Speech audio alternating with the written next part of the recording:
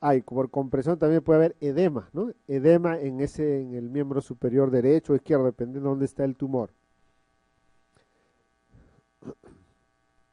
Y del cuello, ¿no? El edema en esclavina, viene acá, aparte de, del, del, edema, la tosis palpebral y anhidrosis. Varón de 57 años, antecedente de alcoholismo, hace dos semanas eh, fue diagnosticado de tuberculosis pulmonar con beca en esputo positivo. Antes de iniciar el tratamiento con isoniazida, rifampicina, tamutol y piracinamida, ¿qué examen preferencial del laboratorio debe solicitar? Todo tuberculoso, antes de empezar el tratamiento, ¿qué pedimos? O cualquier paciente que va a recibir terapia por largo tiempo, ¿no? Por meses. Hay que evaluar la función renal y hepática, pues, ¿no? Mínimo transaminasas y bilirrubinas habrá que pedir, ¿no? Y fosfatasa alcalina, porque puede haber colestasis con solamente elevación de la fosfatasa alcalina. Cuando hay daño hepatocelular, una hepatitis tóxica te eleva transaminasas y bilirrubinas, ¿no? Entonces, bilirrubinas y transaminasas antes de iniciar tratamiento. En nuestro medio, ¿cuál es la causa más frecuente de hemoptisis?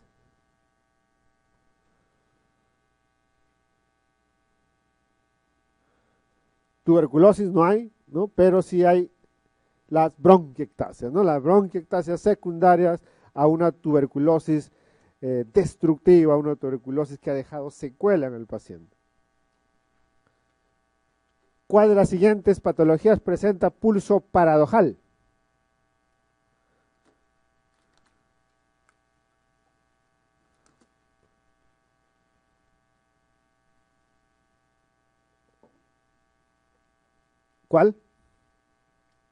La pericarditis constrictiva, ¿no?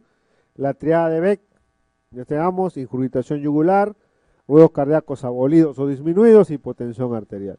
Y además, en el examen podemos encontrar el pulso paradójico. Miren esta onda del pulso. Es en la, la fase expiratoria. En la inspiración, normalmente eh, la onda de pulso debería aumentar. Pero cuando hay pericarditis constrictiva, e, en vez de aumentar ese pulso, disminuye. Disminución de la onda de pulso. Ese es el pulso paradójico. En vez de aumentar, disminuye. Se observa en taponamiento cardíaco, pericarditis constrictiva, tumores del mediastino. Varón de 42 años con hipertensión arterial y tratamiento con propanolol en los últimos tres meses presenta cuadros anginosos, por lo que se le prescribió otro fármaco que el paciente no recuerda. El paciente acude a consulta médica presentando hipotensión arterial y bradicardia. ¿Cuál es el fármaco causal del cuadro? Es un hipertenso en tratamiento con beta bloqueadores y presenta angina, le recetan un medicamento y viene por su efecto adverso, justamente hipotensión y bradicardia. Entonces tendré que buscar cuál de estos fármacos produce eso. Es un hipotensor y además produce bradicardia. De hecho que el propanolol ya produce bradicardia, pero él ya estaba tomando eso. Al agregar un fármaco se ha potenciado ese efecto bradicárdico del fármaco, ¿no? Y, eh, y también su efecto hipotensor, ¿no? Porque ya está haciendo hipotensión. O sea, es un fármaco que baja la presión, que baja la frecuencia cardíaca y tiene efecto antianginoso. A ver, nitroglicerina. Es un antianginoso, produce hipotensión, ¿no? Pero la nitroglicerina usualmente se usa endovenoso, ¿no? Eh, eh, y, qué más? pero eh, produce bradicardia no produce bradicardia. Calcio antagonistas como el nifedipino, amlodipino y verapamil. Estos son tres calcio antagonistas. ¿no? El sildenafilo no lo usamos como antihipertensivo sistémico, se usa como antihipertensivo, pero pulmonar, ¿no? En pacientes con hipertensión pulmonar o también en los pacientes con eh, disfunción eréctil, ese es el otro uso del clorexidrofilo, pero no como hipotensor sistémico. Entonces ya eso lo podemos descartar y nos quedaría nifedipino, amlodipino y verapamil.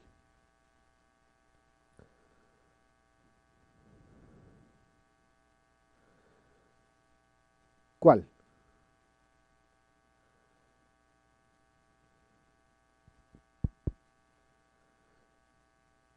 El nifedipino, un calciantagonista que es hipotensor, sí, pero tiene efecto más bien taquicardizante. Por eso está contraindicado como anginoso. No puedo usarlo como anginoso. ¿Por qué? Tiene efecto de aumentar la frecuencia cardíaca. Y si me aumenta frecuencia cardíaca, aumenta el consumo de oxígeno por el miocardio, ¿no? Es contraproducente, porque un anginoso tiene que, uno tiene que manejarlo bradicárdico, tiene que estar bradicárdico el paciente. Entonces no podría usarte, está contraindicado. Ya me quedan dos entonces, el amlodipino y el verapamil. Los dos son calcioantagonistas, ¿no? El amlodipino, buen hipotensor, pero no tiene efecto bradicardizante. En cambio, el verapamil es hipotensor y también lo uso como antiarrítmico para las taquiarritmias, produce bradicardia. Entonces, el fármaco que probablemente le han indicado al paciente es el verapamil.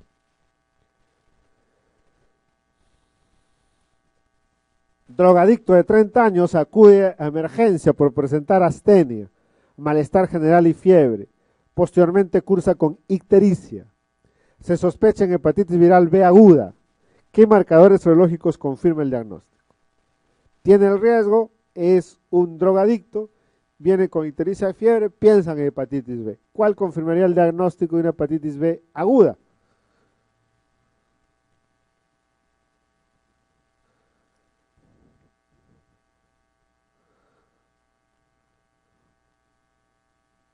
Doctora, ¿qué letra? D. ¿Están de acuerdo? ¿La D? ¿O hay otra? ¿Sí? Muy bien, es la D, ¿no es cierto? Para hacer el diagnóstico de hepatitis B, una hepatitis B aguda, tengo que buscar antígeno de superficie. El antígeno de superficie indica infección. ¿Qué alternativa tiene antígeno de superficie? La B y la E. Eh, ah, no, y la D también. Pero además tengo que demostrar que esa infección es aguda. Para eso es el anticore IgM, ¿no? Que sería este, ¿no? El único, la D. Porque aquí, la B, tiene antígeno de superficie y el anti-E. Pero esto podría ser un crónico también. No hay manera de saber si este es agudo o crónico. Hay las dos posibilidades. Aquí, antígeno superficie positivo y anti-S positivo. ¿Qué es esto?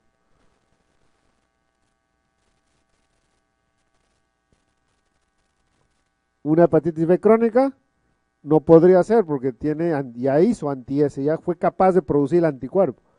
Un curado no puede ser porque tiene antígeno superficie. Lo vimos en la clase, ¿ah? Entonces un convaleciente. El convaleciente, es el que está en proceso de curación, que le falta algunas semanas para desaparecer este antígeno de superficie, queda con el anti-S. ¿Ok? Ah,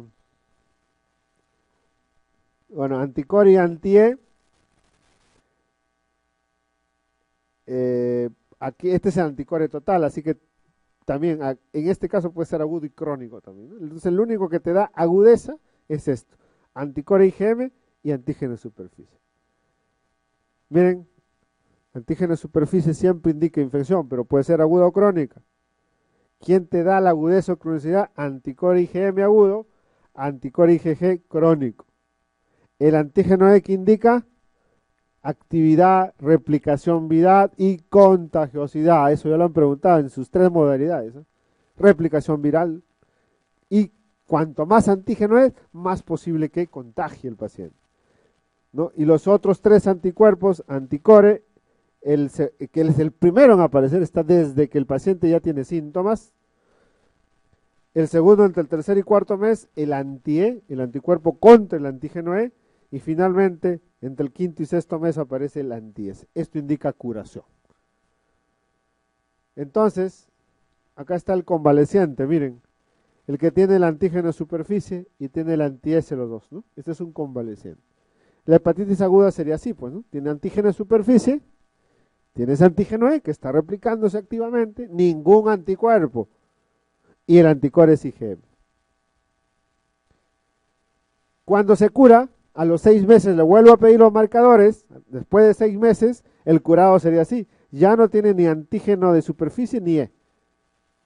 Pero sí tiene los anticuerpos, el anti-E y el anti-S. Pero principalmente lo que importa es el anti-S para decir curado. El anticore ya como estoy sexto mes ya es IgG. Este es un paciente curado, no hay carga viral. Ojo, esto de la carga viral solamente es por motivos docentes, para que ustedes entiendan si hay o no el virus. No se usa como prueba para hacer diagnóstico clínico. Se usa estos marcadores, pero no carga viral. Carga viral se usa para el manejo, para ver respuesta al tratamiento con los antivirales. El convaleciente, miren el convaleciente. Se parece al curado. Todo es igual que el curado, excepto que tiene el antígeno en superficie. Entonces, ¿cómo se van a dar cuenta que están con un convaleciente? Es que tiene su antígeno y su anticuerpo a la vez, las dos cosas. Entonces, acá es cuestión de esperar una o dos semanas para que desaparezca el antígeno en superficie y ya se va a convertir en un paciente curado. ¿Qué pasa si al sexto mes le tomo los marcadores y me sigue saliendo el antígeno de superficie, antígeno E, y no ha formado ningún anticuerpo, principalmente el anti Fue incapaz de producir anti entonces este sí es una hepatitis crónica, porque después de seis meses no formó el anti Ya se convirtió en crónica. A ese sí hay que darle tratamiento. Al agudo no se da tratamiento, se espera nada más. Observación. Aquí al crónico sí. Pero hay dos tipos de crónicos, miren. El activo, que tiene antígeno E positivo, y el persistente, que no tiene antígeno, es negativo. Por lo tanto, este tiene menos replicación, menos posibilidad de contagiar y demora más en complicarse con una cirrosis o un hepatocarcinoma. Es más benigno, mejor pronóstico que una hepatitis crónica activa. El vacunado, miren, todo es negativo en el vacunado y tiene solamente anties, el anticuerpo que el organismo produjo bajo un estímulo de un antígeno atenuado de hepatitis y el paciente genera su anticuerpo, pero no tiene ningún otro marcador. Esto puede confundir cuando el paciente ha tenido hepatitis de larga data. Esto es a los seis meses. Probablemente este perfil se va a mantener hasta los 10 años así. Pero pasa los 10 años, 15 años, va a pasar así todo se negativiza y solo queda el anti-S. El anti-S queda de por vida, su tiempo de vida media es de por vida. En cambio, el anticore IgG, el anti-E duran más o menos 10 a 15 años, luego desaparece. Entonces, un paciente que tiene más de 10 años de hepatitis puede venir solamente con anti-S positivo y confunde con el vacunado, ¿no?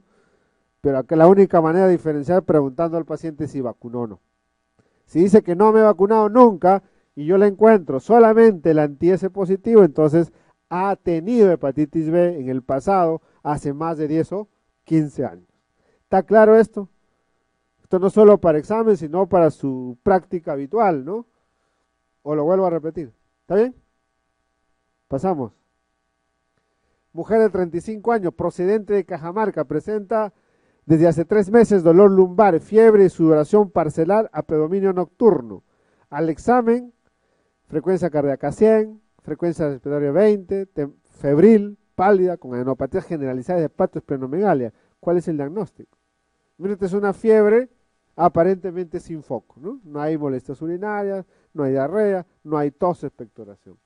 Puede ser una endocarditis, puede ser una brucelosis, puede ser una tifoidea, ¿no? Hay hepatoesplenomegalia, esto más me orienta a una brucelosis o una fiebre tifoidea. Ahora, esta sudoración parcelar es característico de la fiebre malta.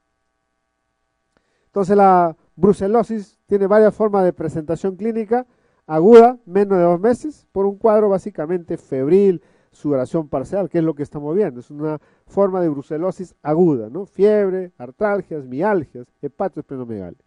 La otra forma es la subaguda de 2 a 12 meses, que viene básicamente por fiebre, ¿no? Fiebre ondulante. Y la crónica, ¿no? Por lumbalgia. Y hay lesión, produce lesión en la región lumbosacra, osteólisis. ¿Cuál es el tratamiento de primera línea? Doxiciclina más streptomicina Y segunda línea, doxy más rifampicina. ¿no? Estos han preguntado en sus dos modalidades, ¿no? depende del banco que saquen. Así que tienen esas dos opciones, ¿no? que tienen mejor respuesta, mejor efectividad, doxy o estrepto o doxy más rifampicina. Varón de 35 años desde hace 7 días presenta deposiciones líquidas de poco volumen, frecuentes, con moco, sangre, pujo y tenesmo. ¿Cuál es el agente? ¿Qué tipo de diarrea es? Exudativa, ¿no es cierto? Moco, sangre, pujo, tenesmo. O inflamatoria. O diarrea disentérica, ¿no? Porque es aguda, 7 días. ¿Cuál de estas produce diarrea disentérica? Áscaro lumbricoles, sí, diarrea crónica. No es agudo, episódica, acuosa, no sangrado. Blastocystis hominis puede ser un colonizante, eh, ¿cómo se llaman estos? Mm, cuando el germen vive, normalmente ahí no produce daño. Saprofito, ¿ya? Cuando hay diarrea, y es lo único que encuentre, podría estar asociado a la diarrea y se da tratamiento, pero si no, no.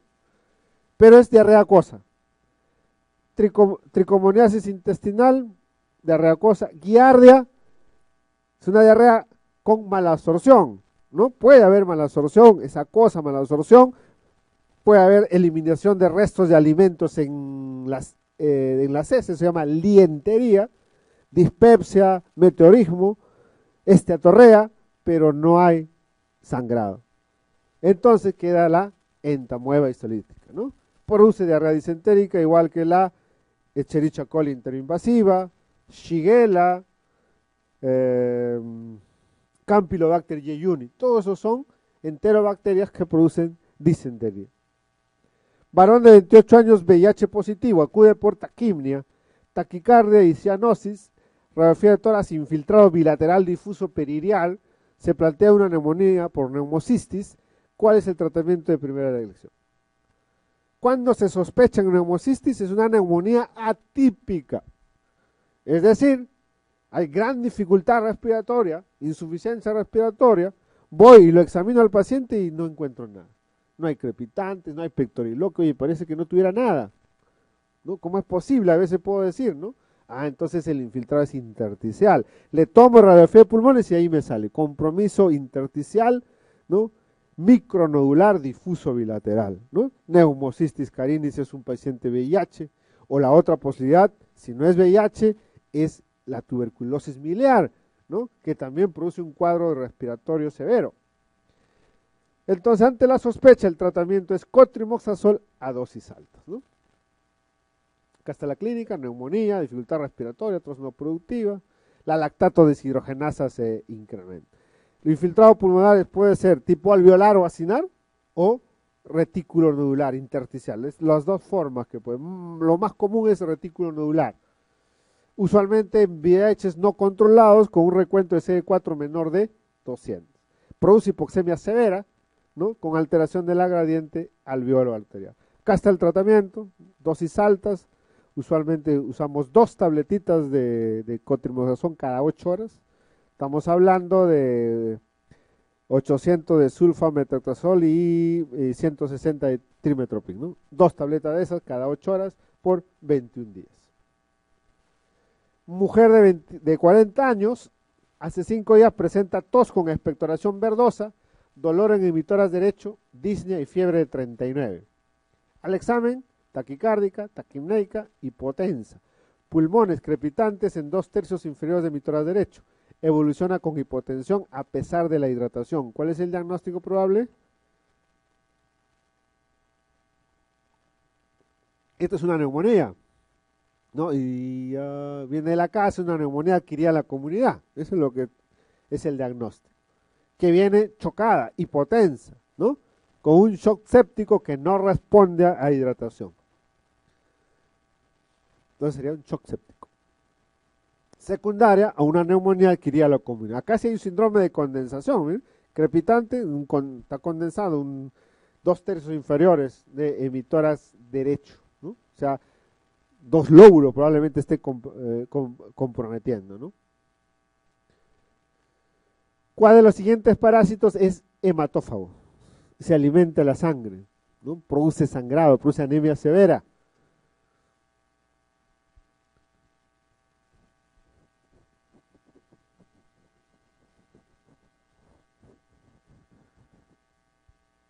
Acá hay dos produce anemizantes, ¿no? El, la estrongiloidosis y el tricocéfalo, ¿no?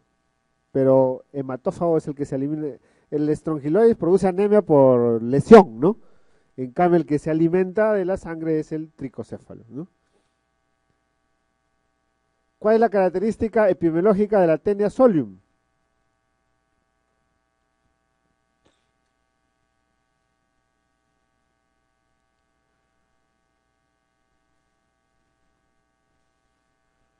¿El perro es el hospedero definitivo?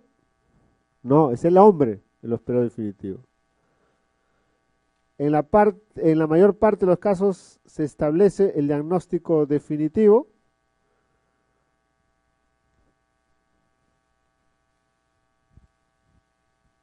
A ver, otra, la taenia adulta suele vivir en el lilion, más arriba, ¿no? Duodeno yeyuno, es un intestino delgado. Los cerdos son los únicos hosperos intermediarios. El intermediario es el que tiene eh, la forma larvaria, ¿no? la forma del parásito. El cerdo es el más común, pero puede haber un accidental, que es el hombre. El hombre también podría ser eh, eh, tener la forma larvaria y eso sería la neuro, o en general cisticercosis o neurocisticercosis. El ser humano es el hospedero definitivo, ¿no? Esa sería la alternativa. Aquí está, ¿no? El hombre se contamina, ¿no? Comiendo la carne del cerdo, ¿no? Bien cocida. Ingresa la larva, a nivel intestinal se forma en adulta y el paciente elimina por las heces los proglótidos, los huevos, ¿no? Si no hay buena higiene, ahí, ahí practica el fecalismo a campo abierto, ¿no? El cerdo puede comer esas heces contaminadas con los alimentos y en el cerdo, ¿no? Se deposita en los músculos, ¿no? Esta es una cisticercosis. Acá es una teniasis, en el hombre teniasis. Pero el hombre podría también autoinfectarse, incluso con su, si hay mala higiene, con sus propios proglótidos y hacer la forma larvaria. Entonces, convertirse en un hospedero intermediado accidental, se llama eso. Entonces, el cerdo no es el único hospedero intermediario. Pero el hospedero definitivo solamente es el hombre. Mujer de 65 años, diabética compensada, es llevada a emergencia por sensación de desvanecimiento, disnea, mareos y náuseas. Examen pálida, sudorosa y fases ansiosas. La presión en el límite inferior Frecuencia cardíaca normal, taquineica, cardiovascular, ruidos cardíacos de tono bajo, rítmicos y presencia del tercer ruido. Pulmones, murmullo vesicular disminuido en bases. Laboratorio, troponina I elevadas. EKG, lesión subepicárdica en derivaciones 2, 3 y ABF. Ondas Q. ¿Cuál es la complicación mecánica más frecuente? ¿Cuál es el diagnóstico? Es una diabética compensada, ¿no? Viene por sensación de envanecimiento, mareos, ¿no? Con tendencia a hipotensión, polimneica, pero no hay dolor, ¿no? Es la característica del diabético. Cuando es un infarto miocárdico, no le duele, pero hay todos los signos de descarga adrenérgica, ¿no?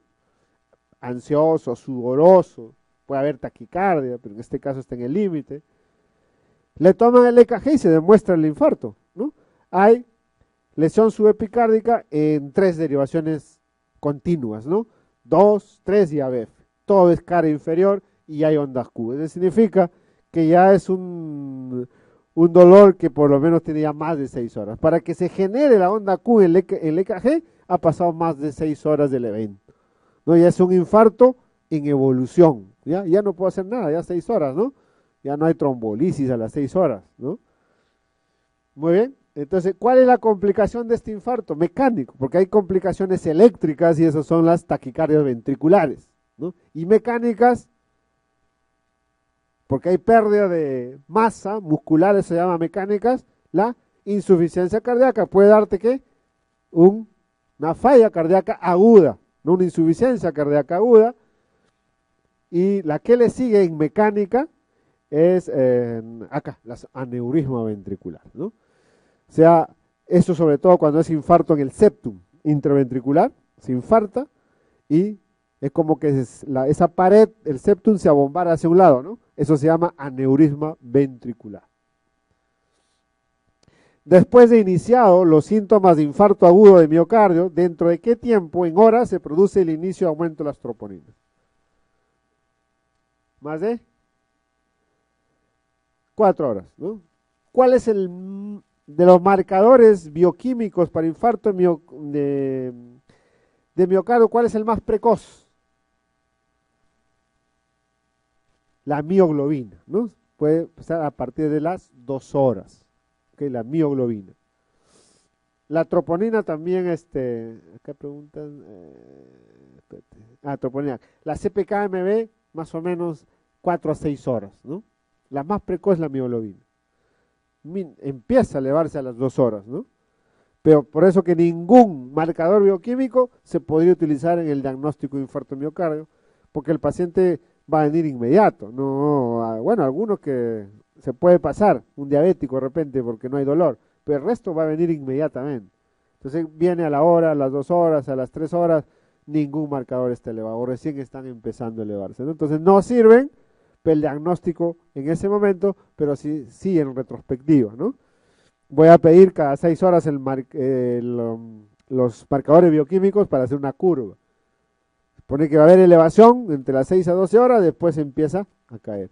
Si hay esa curva, entonces lo que he tenido es un infarto de miocardio, porque también podría ser una angina inestable. Quien lo define es el movimiento de enzimas. Sí se piden, pero para confirmar el diagnóstico a posteriori, después de las 24 horas. En el evento agudo, simplemente mi electrocardiograma. ¿Qué busco? Super nivel ST. Si es así, fibrinolisis o angioplastía coronaria. Si el ST está infradesnivelado o hay ondas T negativas, ese es un infarto no Q, o sea, no va a formar Q, por lo tanto no va a fibrinolisis. ¿Qué le doy? Antiagregación plaquetaria, anticoagulación, nitratos, ¿no? Para el dolor, nada más. Paciente con FA persistente en insuficiencia cardíaca, ¿cuál es el tratamiento de elección? O sea, tienes FA más insuficiencia cardíaca quiero controlar la frecuencia cardíaca. ¿Cuál es el fármaco de elección?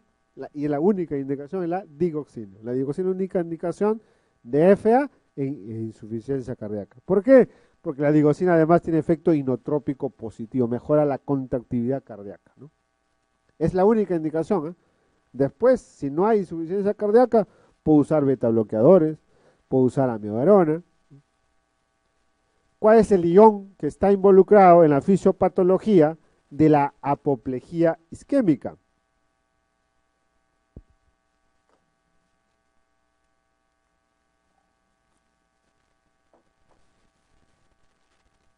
Calcio.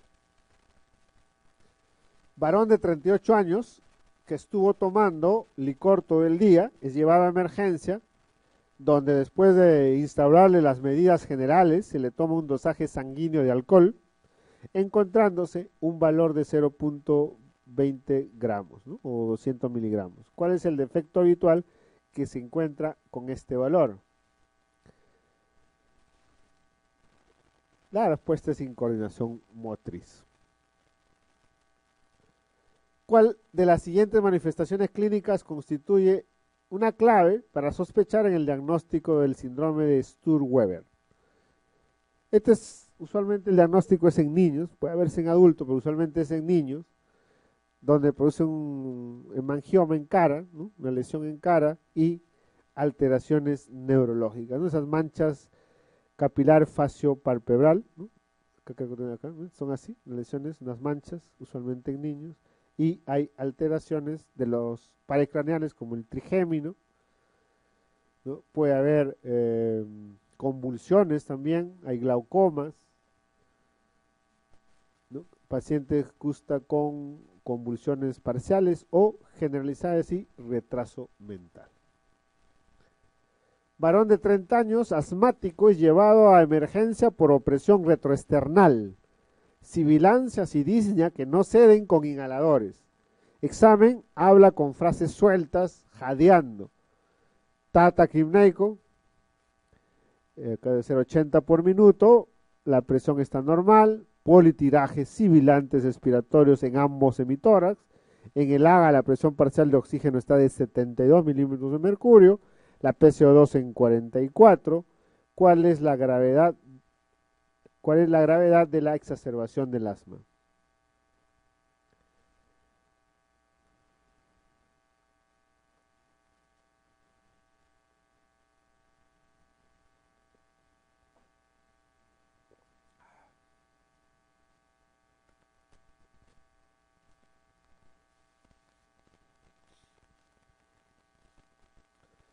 definitivamente debe ser grave, ¿no? Porque hay politirajes, ¿no? Paciente con politirajes, taquimneico. Hay una hipoxemia severa, ¿no? PPA de 72 y el PCO2 está en 44.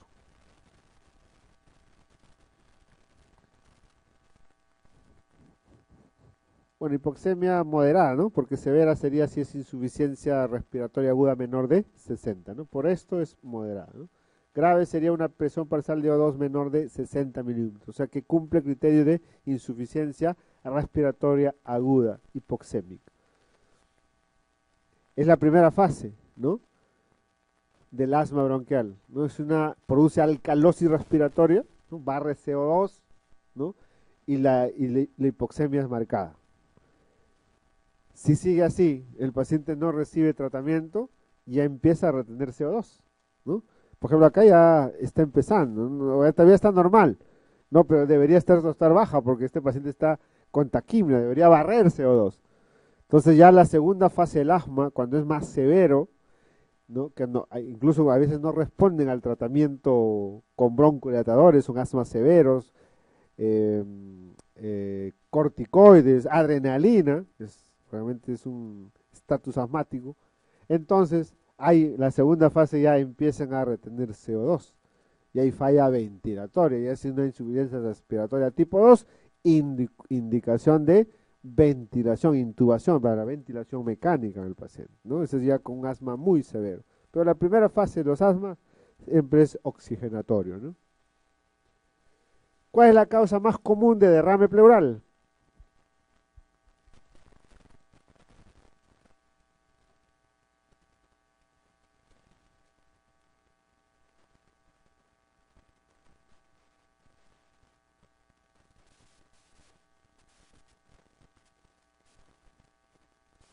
¿Qué dicen? Todos pueden dar derrame pleural, ¿no? Toditos. Este caso de mama será una metástasis a, pleura, ¿no? Esta es una insuficiencia cardíaca. Definitivamente no podrá ser mesoteloma en lo último. ¿no? Es un tumor primario del, de la pleura que es infrecuente como causa de derrame, ¿no? Metástasis también, se queda entre una neumonía bacteriana, una cirrosis hepática o una insuficiencia cardíaca. La insuficiencia cardíaca, la causa más común de derrame pleural. Usualmente es bilateral, bilateral. ¿Puede ser unilateral? Sí, pero si es derecho. Puede haber unilateral derecho por insuficiencia cardíaca. Pero si es unilateral izquierdo, sí, no, no, no explica la insuficiencia cardíaca. Hay que buscar otra causa. ¿Cuáles son los alérgenos que con mayor frecuencia inducen el asma? Cucarachas, mascotas, polen, los dermatofagoides. ¿Cuál es la característica fisiopatológica durante la primera fase de evolución del síndrome de distrés respiratorio agudo?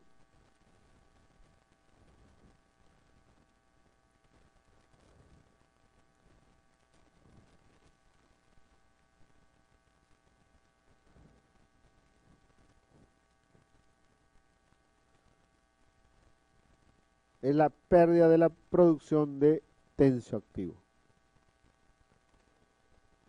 Mujer de 45 años hospitalizada hace cuatro días por celulitis de pierna derecha.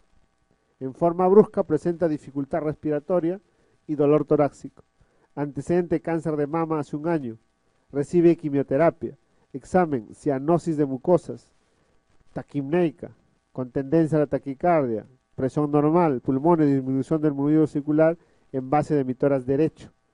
Cardiovascular, soplo sistólico en foco pulmonar. ¿Cuál es el diagnóstico más probable?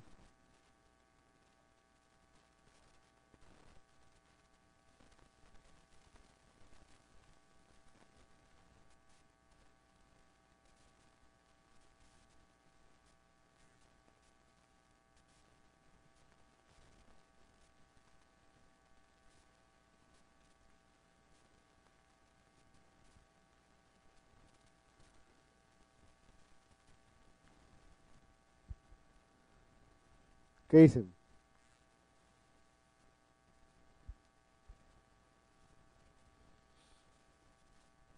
Forma brusca, dificultad respiratoria, ¿no?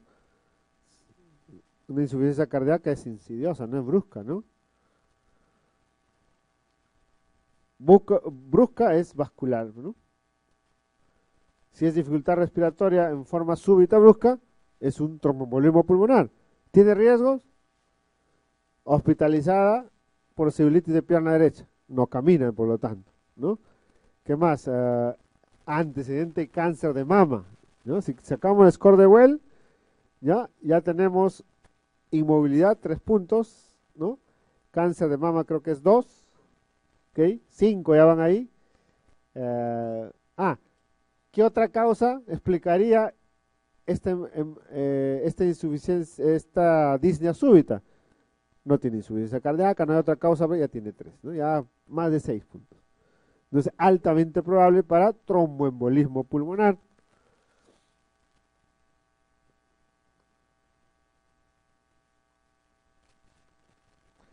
Y disminución del movimiento vesicular en base emitoras derecho, un soplo sistólico en foco pulmonar. ¿Eso por qué puede ser?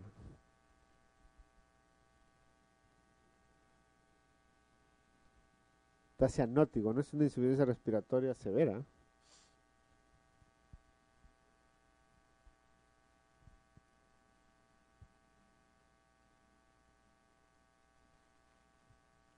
Esto puede ser porque hay hipertensión pulmonar. E, en todo caso, este, este, la embolia pulmonar debe ser masiva, severa. Solamente acá le falta que haya hipotensión arterial, para poder explicar este soplo sistólico, ¿no? y el derrame también, el derrame también puede haber tromboembolismo pulmonar, pero masivos, severos. Varón de 28 años, hace una semana, presenta dolor torácico, fiebre, escalofríos y tos exigente. Antecedente de viaje a la selva hace cuatro semanas. Al examen, taquimneico, pulmones crepitante base emitora derecho, refiere tórax infiltrado paliar derecho. ¿Cuál es el agente etiológico más común? Parecería una neumonía, ¿no? Es una neumonía, ¿no? Una semana, tos, fiebre, escalofríos, eh, hay síndrome de condensación, crepitantes, una radiografía con infiltrado parial una neumonía adquirida en la comunidad. Pero dice acá que este paciente ha tenido antecedente de viaje a la célula hace cuatro semanas, ¿no? O sea, y hace una semana ya está enfermo. O sea, es un antecedente eh, cercano, ¿no? Un antecedente cercano de viaje al hacerlo. Vamos con las alternativas. Si esto fuera una neumonía que iría a la comunidad, ¿qué, pensaríamos las dos causas más frecuentes? Streptococcus pneumoniae y influenza, cosa que no aparecen ahí. Por lo tanto, ya no es una neumonía que iría a la comunidad. Entonces tendré que pensar en otro germen, ¿no? Por ese antecedente de viaje a la selva. ¿Cuál de esos puede producir compromiso pulmonar? Y que tiene que ver con una zona tropical, la selva. Cryptococcus neoformans, inmunosuprimidos, ¿no? Usualmente produce meningoencefalitis, compromiso pulmonar rarísimo. Histoplasma capsulato sí produce compromiso pulmonar, está asociado a las S de las aves, ¿no? Usualmente se describe cuando el paciente visita esta zona, las cuevas de las lechuzas, acá en nuestro Perú, en Tingo María, ¿no? Y semana después hace un cuadro respiratorio, ¿no? Entonces podría ser histoplasma capsulatum. Eh, la legionela produce una neumonía legionera porque se daba esto en las legionarios, ¿no? los soldados, había un componente epidemiológico o lugares donde había ventilación, eh, aire acondicionado, también se puede la, la, la, legionela. pero nada tiene que ver con eh, la selva, ¿no? La legionela podría estar en Lima, podría estar en cualquier zona urbana, no necesariamente tiene que ser el antecedente de la selva. Entonces, el único antecedente para la selva, ¿no? Sería la, el histoplasma capsular. ¿no? Entonces, ¿cómo adquiere la infección en el hombre? A través de las heces, ¿no? De las, uh, de las esporas que botan en las heces los aves, murciélagos. Inhala el humano y se contagia, ¿no? Entonces, hay eh, eh Vaya forma de presentación de la histoplasmosis. Tenemos la pulmonar y extrapulmonar o diseminada. Otra forma de clasificación, pues el tiempo es aguda, subaguda, o primaria o reinfección. Este es un infiltrado bilateral de tipo ¿no? Eh, alveolar, la tomografía. ¿En qué cuadro está mejor indicada la ventilación no invasiva en el ámbito hospitalario? Eh, es una ventilación a presión positiva, ¿no? Es como una mascarilla, ¿no? Y te genera presión positiva, pero no, no estás entubado, ¿no? Eso es no invasiva, no estás invadiendo al paciente. ¿En qué caso podríamos usar?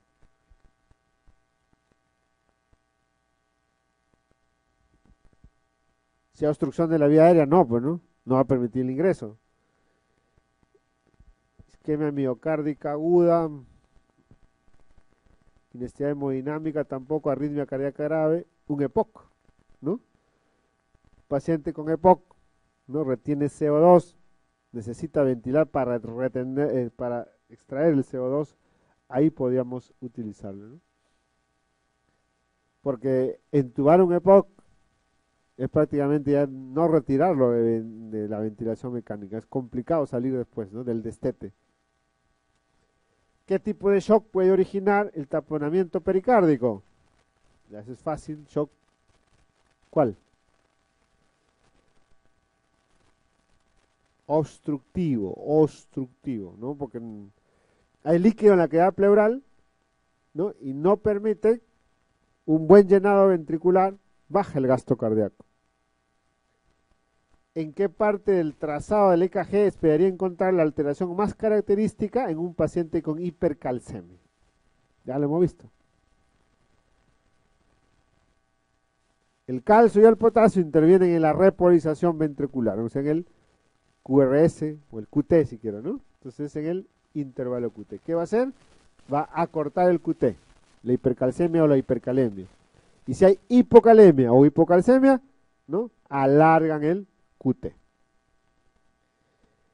En la reanimación cardiopulmonar básica con dos reanimadores, ¿cuál es la relación de compresiones torácicas y ventilaciones?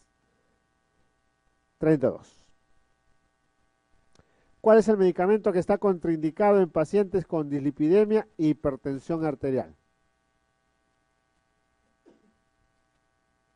O sea, tengo que usar un, un antihipertensivo, pero la, la, variable que tiene que es dislipidémico. ¿Cuál no puede usar? Ya lo mencionamos. ¿Cuál de estos fármacos te puede aumentar triglicéridos o ácido úrico? La hidroclortiazida. No puedo usar en pacientes dislipidémicos. Produce trastorno metabólico. Los IECAS no puedo usar cuando hay insuficiencia renal crónica. En IRC va bien alfamitil-dopa, calciantagonistas. Varón de 65 años ingresa a emergencia por presentar hace 10 minutos precordalgia intensa, en forma brusca, angustia, diaforesis profusa y pérdida del conocimiento. Antecedentes diabético, hipertenso, hace 10 años, no controlado, al examen mal estado general, inconsciente, cianótico y jadeante. Se confirma inminente paro cardíaco. ¿Cuál es la primera medida a realizar? Es un infarto miocardio que ha terminado en un paro cardíaco. ¿qué es lo primero que hacer? El ABC de la resucitación, vía aérea permeable, hay que cuidar la función respiratoria, ¿no? De ahí viene ya los masajes cardíacos, ¿no? Si monitor, después lo, si veo que hay una taquicardia ventricular o fibrilación ventricular, hay que desfibrilar. Y es parte de la reanimación avanzada, ¿no?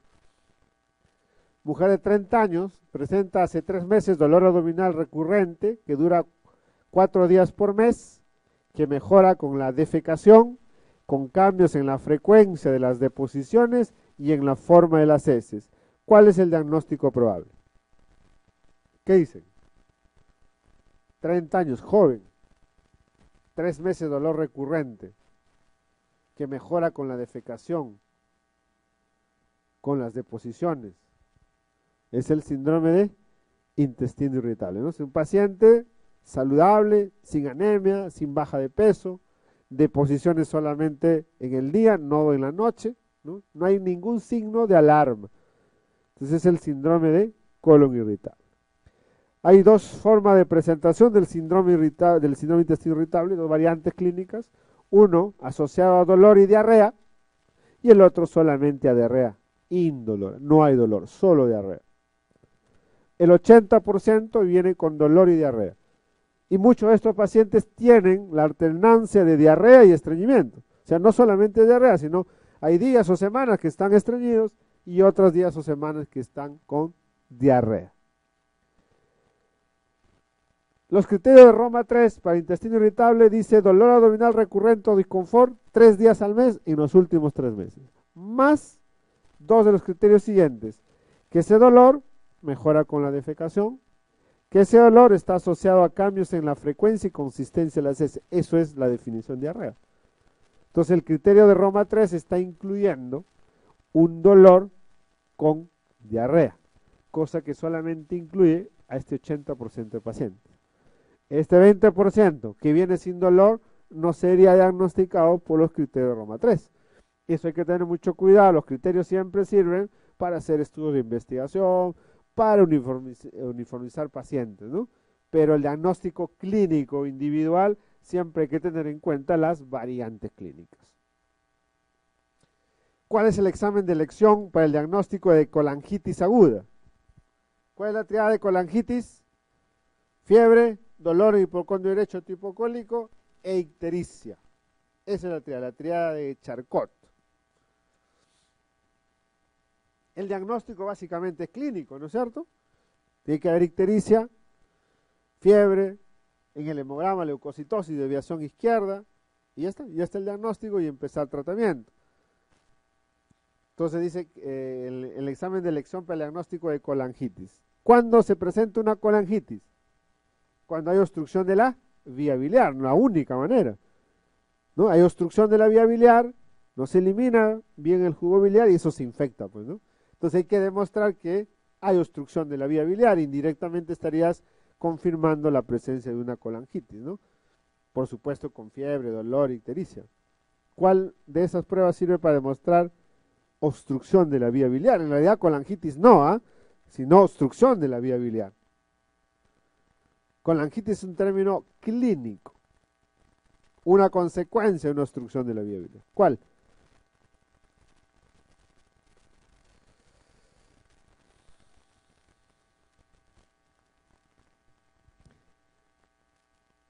Esta es una prueba ya antigua, ¿no? Una pregunta que actualmente si me la ponen, tendría que poner acá qué cosa? Colangio resonancia. Esta es una CEPRE, ¿no? Se hace una endoscopía, se administra sustancia contra, entonces se hace unos 10 años atrás, ¿no? Ya la resonancia cuando mejoró, ¿no? ¿no? reemplazó pues a la, a la. Entonces, el diagnóstico actual para demostrar una obstrucción de la vía biliar es colangio-resonancia. Si demuestro que hay obstrucción de la vía biliar y ese paciente está febril, está ictérico, en el hemograma de leucocitosis y división izquierda, entonces es una colangitis aguda. El diagnóstico es clínico. esto es para demostrar indirectamente la obstrucción de la vía biliar, porque no hay otra forma de hacer colangitis si no es obstrucción de la vía biliar. ¿Y cuál será el siguiente paso si este paciente se demora en venir, está con colangitis? La formación de abscesos hepáticos, que también ya lo han preguntado varias veces. ¿Cuál es el origen de los abscesos hepáticos? Obstrucción de la vía biliar o, si quieren, eh, colangitis. Porque los abscesos de origen em, eh, de diseminación hematógena son rarísimos. Varón de 28 años procedente de Ayacucho presenta náuseas, vómitos, malestar general y artralgias. Examen ictérico, hepatomegalia y ahí están los análisis de laboratorio. ¿Cuál es el diagnóstico? A ver. Tienes antígeno de superficie positivo, anti negativo, anticore IgM positivo, antígeno E positivo, anti negativo. ¿Qué es?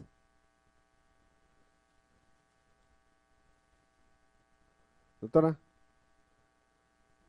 aguda. Pues no tienes el antígeno de superficie que me indica infección. Ahora lo único que tengo que buscar es el anticore IgM que está acá. Anticore IgM positivo. El, el antígeno E también va a estar positivo porque es agudo, se está replicando. Pero el anti-S negativo y el anti-E también. Los dos anticuerpos negativos porque es una infección aguda. Entonces será una hepatitis B aguda.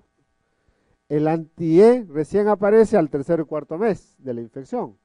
Y el anti-E se aparece recién al sexto mes. Indica curación.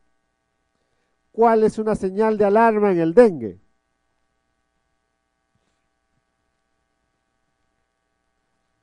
El dolor abdominal intenso y continuo. El dengue también es producido por el Aedes aegypti. Acá están los serotipos que producen tiempo de incubación promedio, de 3 a 14 días, una semana promedio.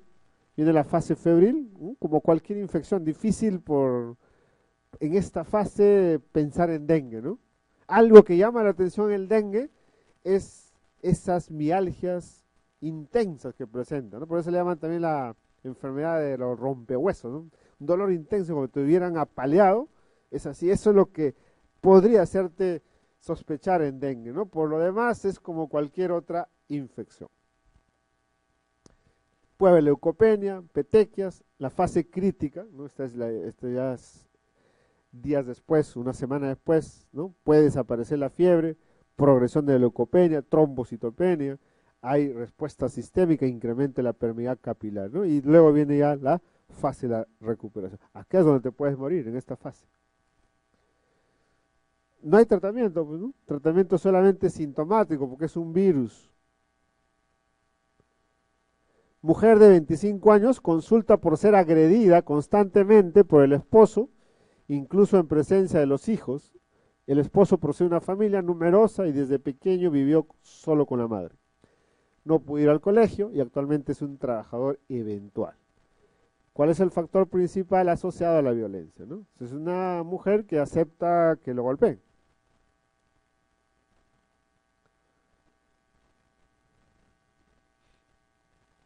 ¿por qué la mujer estará aceptando que lo golpeen? ¿Qué, antecedentes tiene ella? Mujer de 25 años consulta por el esposo, incluso en presencia de los hijos. El esposo procede de una familia numerosa y desde pequeño vivió solo con la madre. No pudo ir al colegio, actualmente es trabajador eventual. ¿no? ¿Cuál es el factor principal asociado a la violencia de esta familia? Claro, el esposo es el peor.